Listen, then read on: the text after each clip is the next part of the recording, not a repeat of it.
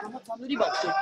Mestre, sconvolta da ciò che stava accadendo, una residente di via Monte San Michele è riuscita a filmare dalla finestra un pestaggio avvenuto martedì poco prima delle 23.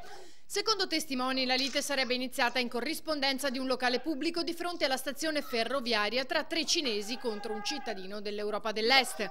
Volano calci e pugni. Siamo usciti nel momento in cui abbiamo sentito urlare polizia, polizia, racconta la testimone. I tre sono scappati mentre il ferito è rimasto a terra con la gamba spezzata. Indaga la polizia.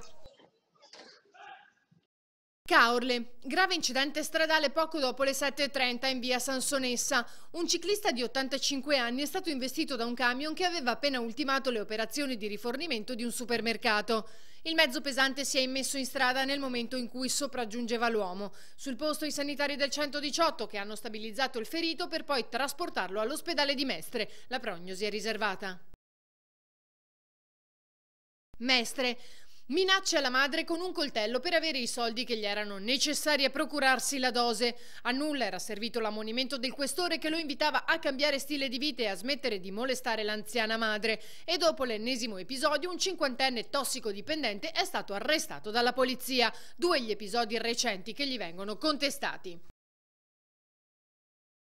Venezia. Avevamo solo 10 centesimi quando sono stati catturati dal cameriere che li ha rincorsi. Due ragazzini veneziani si sono giustificati così. Dopo aver cenato a base di pesce al ristorante in Piazza della Vittoria a Treviso sono scappati di corsa, ma la loro fuga è durata poco. Saranno denunciati.